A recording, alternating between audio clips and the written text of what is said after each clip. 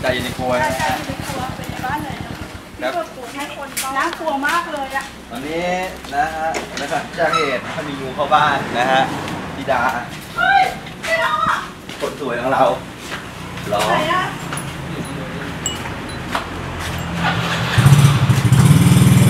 กลัวสิทางมะพร้าวเอาอืมเอาไฟฉายนิกไฟฉายอยู่นี่นิกนิกครับเอาเลยพี่ อะ มันน่ากลัวมากเลยนะ มันพาดอยู่กับถังแก๊สอ๋อเห็นหัวแล้วตัวอะไรงูอะไรเอานี่ไปฉายนะครับอะอะอะดูดูไม้จ่าดิจ่าเอาเฝ้าอย่างเงี้ยจ่ามันกล้าตีจ่ากลัวงูทางมะพร้าวเหรอมันดูสิดูสิมันมันฉกมะโชคครับฉกกระปกเหรอ ไม่ชกกระปกชกจริงๆชกจริงจังเลย แต่เป็นงูไม่มีพิษเท่านั้นเองเหรออืมพี่ก็กลัวนะมันมันมีหลายตัวมะตัวเดียวพี่ รู้ได้ไงว่ามันมีตัวเดียวใช่อาจจะมีหลายตัวก็ได้อ่านละเดี๋ยวผมมันอยู่ตรงไหนไอ้ตรงตะแกรงนะเอฮะออ๋อจะมาเปิดจะมาถังแก๊สจะมานี่มันพลาดอยู่ที่ถังแก๊สกับกระทะกูต้องทิ้งกระทะอันที่ไหนกูกลัว โอ้ยขนลุก ที่เรากำลังเห็นอยู่ตรงนี้นะครับ ก็คืองูทางมะพร้าว งูทางมะพร้าวบางที่เขาก็เรียกว่างูเห่าม้าครับ เนื่องจากว่างูทางมะพร้าวจะมีพฤติกรรมในการป้องกันตัวเวลาตกใจ หรือว่าเวลาที่เขาโกรธนะฮะเขาจะมีการแบนคอจากทางด้านข้าง คืองูทั่วไปอย่างงูเห่านะครับ ที่เราเรียกว่าแผลเบี้ยเนี่ยเขาจะมีการแผลเบี้ยแบบนี้นะครับ ก็คืออมีการแบนคอไปอย่างตรงๆนะฮะแต่ว่าพอเป็นงูท้าพาวปุ๊บเขาจะแบ่งจากฐานด้านข้าง ซึ่งลักษณะโครงสร้างเขาทำให้ต้องแบ่งในลักษณะนี้นะครับ จนมีความคล้ายคลึงกับงูเห่าแผลแม่เบี้ยนั่นเองนะครับเพียงแต่ว่า มันไม่มีพิษแต่ว่าพฤติกรรมในการป้องกันตัวก็จะค่อนข้างเอ่แล้วอมันจะมายังไงคะดุดุดันและน่ากลัวมาจากไหนอะนะฮะเดี๋ยวลองดูนะฮะว่าเราจะทำยังไงกับเขาดีมันปีนได้เออเดี๋ยวเดี๋ยวให้พี่ไปก่อนพี่กลัวไม่เอาแล้วไม่เอาแล้วครับมองด้านล่างจะเห็นลักษณะลำตัวชัดเจน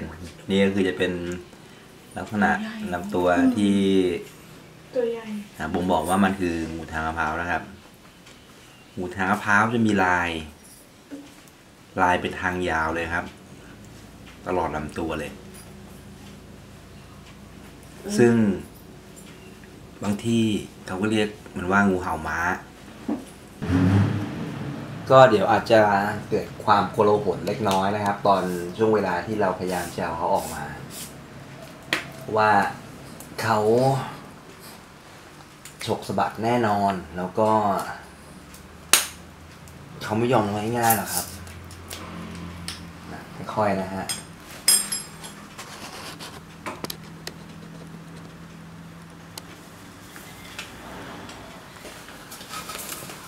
ขึ้นแล้วขึ้นแล้วขึ้นแล้ว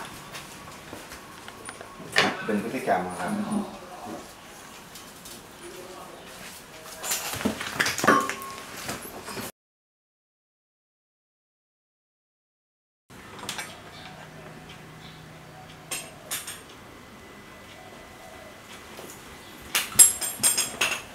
ดูแลไปหมดแล้ว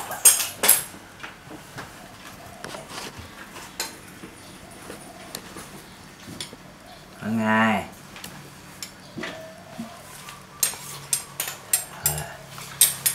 เห็นเขาชัดเจนแล้วนะครับ นี่ก็คือพฤติกรรมนะการป้องกันตัวของเขา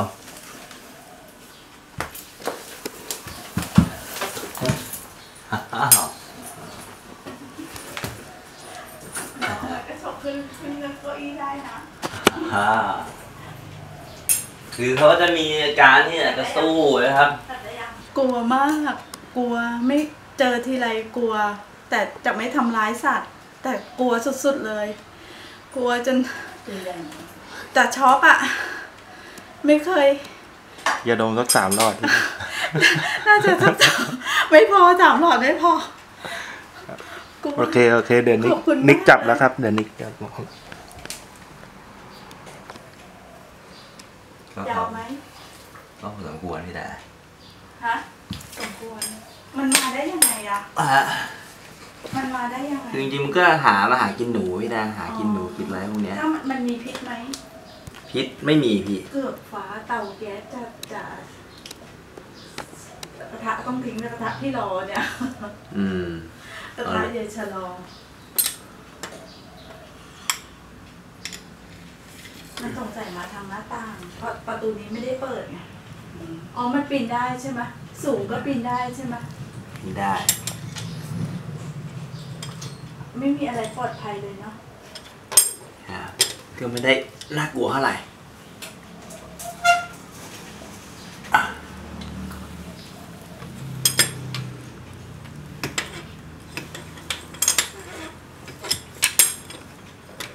ส่งวิดีโอมาให้พี่มั้งนะ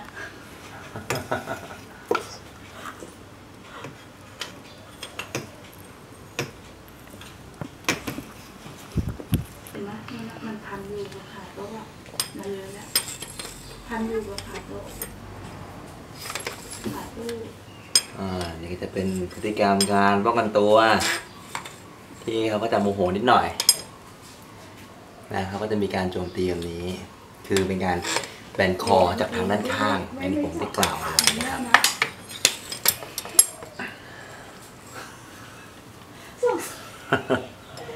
ตายตรงนี้เลยร้องร้องร้องได้เลยโอ้นี่มันจับยากขนาดนี้เลย นี่ไม่ยากเลยนะก็พยายามนิ่มนวลกับเขา ให้มากที่สุด มันลื่นใช่ไหมอ๋อไม่เลือดหรอกพี่ มันจะแห้งๆเพียงแต่ว่าอ่าผมพยายามที่จะใช้วิธี ที่นุ่มนวลที่สุดเท่าที่จะทำได้ ตอนนี้นะครับผมก็ปล่อยหางเขาแล้วก็อ่าไม่พยายามที่จะพูดพลาดมากนะฮะ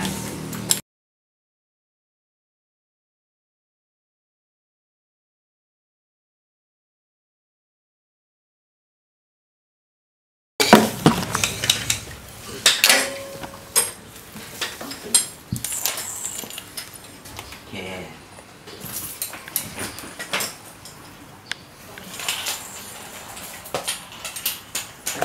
คือคุณจะเห็นว่าเขาก็พยายามที่จะหนีอย่างเดียวนะครับผมไม่ได้ต้องการที่จะมาวุ่นวายอะไรกับผมเท่าไหร่เนื้อสิ่งที่ผมพยายามทำก็คือ พยายามที่จะให้เขาตัดสินใจทำอีกแบบนะครับ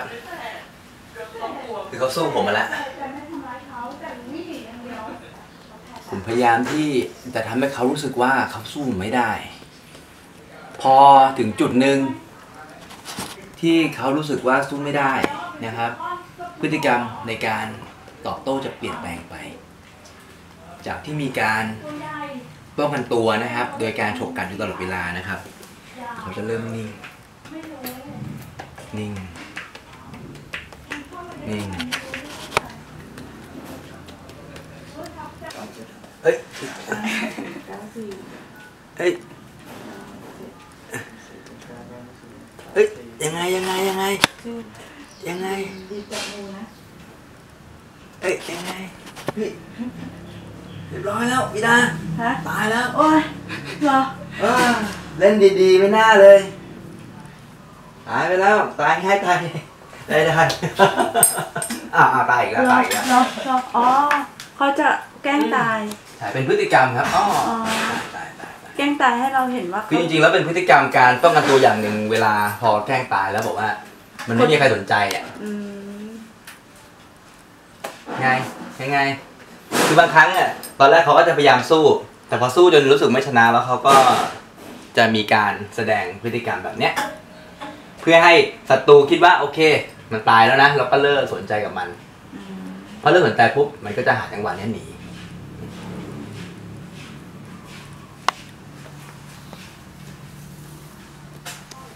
อ้าา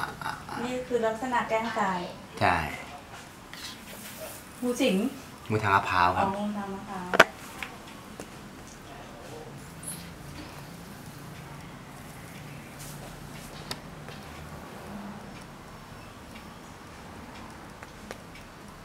ไงอ๋อตายอีกแล้ว คือชื่อภาษาอังกฤษเขาคือ copperhead rat snake นะครับ จริงๆ จะมีงูอยู่ทางโซนอเมริกาที่เรียกว่างู copperhead นะ จะเป็นงูกลุ่มมีพิษ ซึ่งคนละกลุ่มงูทางมะพร้าว copperhead เหรอ copper copperhead copperhead ใช่เนี่ย rat snake rat snake ครับ rat snake ก็คืองูที่กินหนูนั่นเองโอ้ยไม่เอาไม่เอาไม่เอาพี่ดาไม่ต้องกลัวพี่ดาไม่ต้องกลัวพี่ไม่ต้องกลัวตอนนี้ก็คือ คือเราก็ไม่ได้ทำอะไรเขาเจ็บไงพอไม่ได้ทำเขาเจ็บเขาก็ไม่ไม่โจมตีเรารุนแรง แต่ว่าถ้าเจอแรกๆเนี่ยตอนเจอใหม่ๆเนี่ยเขาจะตกใจอ่ตอนนี้อาจจะมีการโจมตีแหละรุนแรงหน่อย แต่ว่าผมก็จะปล่อยทุกครั้งที่เขาแกล้งตายก็คือให้ความเคารพในการที่เขาโชว์พฤติกรรมในธรรมชาติของเขาออกมาอะโอเคนะก็คือเรามาดูลักษณะนะครับลาย ตามธรรมชาติของงูทางมะพร้าวกันดีกว่า เวลาคนอื่นเจอจะได้จำแนกออก เนี่ยฮะเขาจะมีลายโอ้ยนี่นะฮะลายเขาจะมีลายอ๋อเพราะว่าเราเผลอเขาก็จะหนีเราใช่ครับเขาก็จะหนีเรา เหมือนกับว่า ลายยังไง ลายเป็นลายตามยาวเนี่ยฮะ จะมีข้างละสองลายเนี่ยอ่าสองลาย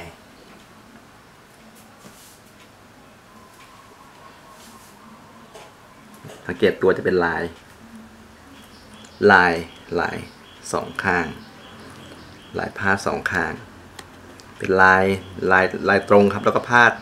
มาเกินครึ่งลำตัว ช่วงหางเนี่ยลายจะไม่ค่อยมีนะฮะช่วงหางลายจะไม่ค่อยมี งูทางมะพร้าวนะครับ เป็นงูที่ถูกเข้าใจผิดนะครับ แล้วก็คนคิดว่า มันมีพิษอยู่เสมอมาทั้งที่จริงๆแล้วเขาไม่ได้มีพิษไม่มีภัยเลยครับ และหน้าที่ของเขาเนี่ยจริง ๆ คือสำคัญมาก งูทางมะพร้าวจะเป็นงูที่กินหนูได้ดีมากครับ จะเป็นงูที่ช่วยชาวนาชาวบ้านนะครับ ช่วยกินหนูครับ คืองูทางมะพร้าวนะครับเขาก็จะเป็นเหมือนงูทั่วไปก็คือจะเป็นหนึ่งในฟันเฟืองชิ้นเล็ก ๆ นะครับ ที่คอยสร้างความสมดุลให้กับธรรมชาติและสิ่งแวดล้อมของเรานั่นเอง วันนี้ผมก็อยากให้เข้าใจหน่อยนะครับผม จริงๆเขาก็ไม่ได้น่ากลัวเลยใช่ไหมครับ มีพฤติกรรมที่น่ารักด้วยนะฮะแต่ว่าให้เกียรติเขาหน่อย ผมก็จะจับนิดนึงนะฮะเล่นสนุกเลยนะอันนี้ใช่เดี๋ยวผมก็จะเอาเขาไปปล่อยครับผม โอเคได้ไม่เอา ไม่เอานะพี่ไม่ได้ไม่ได้ไหมไม่เอาพี่กลัวอ่ากลัว ใจมันจะอยู่ที่สตุ่มอยู่แล้วอะจริงๆจริงๆมันใจจะขาดมากเลยที่อะตอนเนี้ยพื้นฐานของมันไม่คือความไม่กลัว ไม่ไม่แต่โอเคไม่เป็นไรพี่ดา เดี๋ยวเจอปัญหา เดี๋ยวผมจัดการไปปล่อยให้พื้นที่ที่ไกลกว่านี้ ได้ไม่ต้องห่วงนะเดี๋ยวพื้นที่ที่ไกลกว่านี้ หรือพี่ดาให้ผมปล่อยหลังบ้านก็ได้นะโนโนโน ได้ไม่เอาไม่เอาโอเคครับผม ก็มากนิกครับไปผม ไปที่ร้านไปให้จ่าดูภารกิจนี้ก็สำเร็จรุ่ร่วงไปได้ด้วยดีนะครับผมเราก็อ่าคงจะต้องย้ายเจ้างูเอ่อเจ้างูทางมะพร้าวไม่ใช่งูสิงคือตอนนี้นะครับภารกิจทั้งหมดก็อ่าสำเร็จรุ่ร่วงได้อย่างสมบูรณ์นะครับ ก็ไม่มีใครได้รับบาดเจ็บนะครับ ไม่ว่าคนหรืองูนะเราก็สามารถเห็นพฤติกรรมนะครับของเจ้างูทางมะพร้าวได้ เวลาเขาก็มันตัว แล้วก็เวลาเขา รู้สึกว่าเขาสู้ไม่ได้เขาก็จะแกล้งตายครับ ตอนนี้ก็ถึงเวลาที่จะต้องย้ายนะครับ เอาเจ้างูทางมะพร้าวไปที่อื่นนะครับ เพื่ออาบรรเทาความขัดแย้งนะครับ เพราะว่าพี่ดาเขาก็รู้สึกว่าจริงๆไม่ได้ไม่ได้ไม่เกลียดไม่เกลียดแต่กลัวแต่กลัวนะครับ แต่กลัวซึ่งก็เป็นความรู้สึกที่มันอยู่ในก้นบึกเอ่อก้นก้นลึกเบื้องลึกเลยเบื้องของจิตใจนะครับก็ก็กลัวก็ไม่เป็นไรครับแต่เราไม่ก็ทำร้ายครับไม่ทำร้ายก็ เราจะย้ายเขาไปไว้ที่อื่นแล้วกันครับ โอเค